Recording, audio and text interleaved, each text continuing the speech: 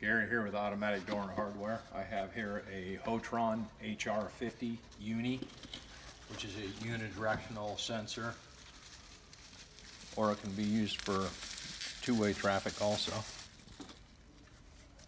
Uh, made by Hotron, a high-quality sensor. Comes with instructions and the wiring and screws to mount it and a template.